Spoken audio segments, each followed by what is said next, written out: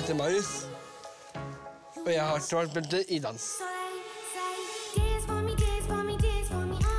Jeg er jo Kufu Marius, som det heter.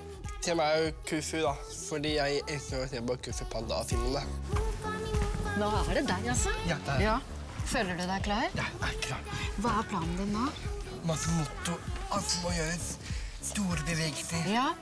og mange masse lykke til. Ja, ok. Lykke til. Ja, Gå ut og vis dem.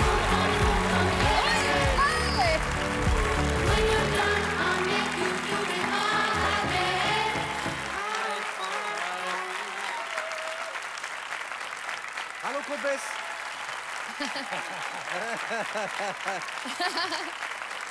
Hei på meg! Hei på meg! Hei! Hei, Hei sann, hva heter du for noe? jeg heter Marius. Hei, Marius. Du, Hvem er med deg bak der? Ja, hvem er jeg? Ja, um, det er storesøsteren min, Henriette.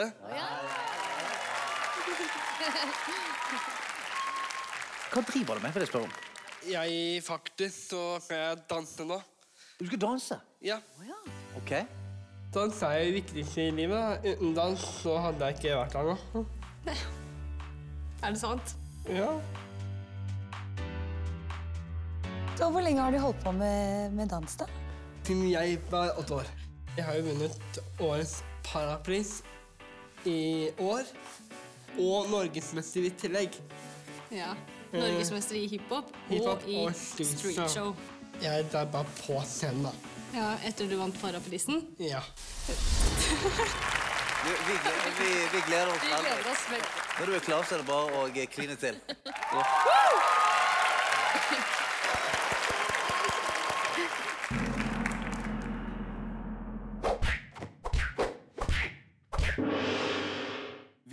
Ikke utfordrer deg selv, vil du aldri nå nye mål. Men jeg elsker den jeg er. Du ser kattene. Dette blir ikke enkelt. Oi!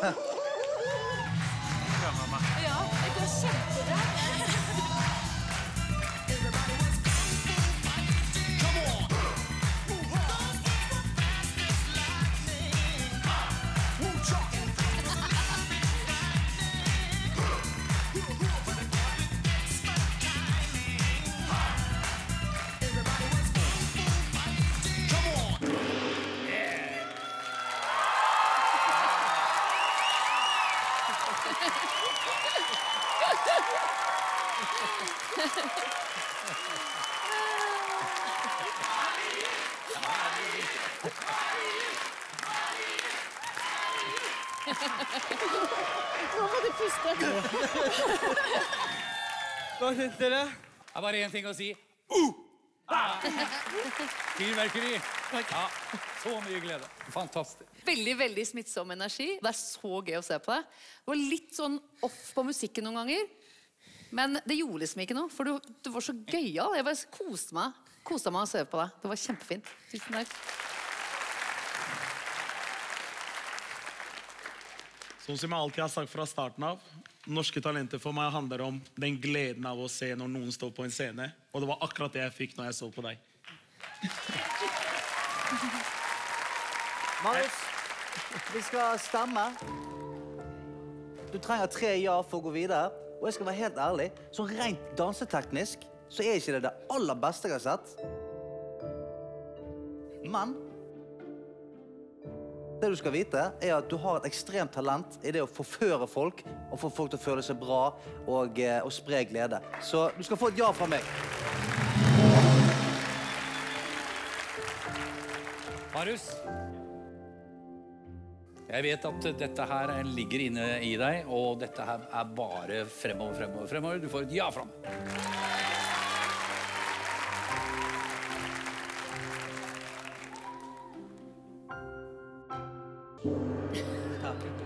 Sensei. Det blir et ja fra meg. Det er jo samme hva jeg sier nå, egentlig. Nå har du fått tre ja, men vil du ha ett ja til? Ja, du får det! Du får det! Gratulerer med sånn.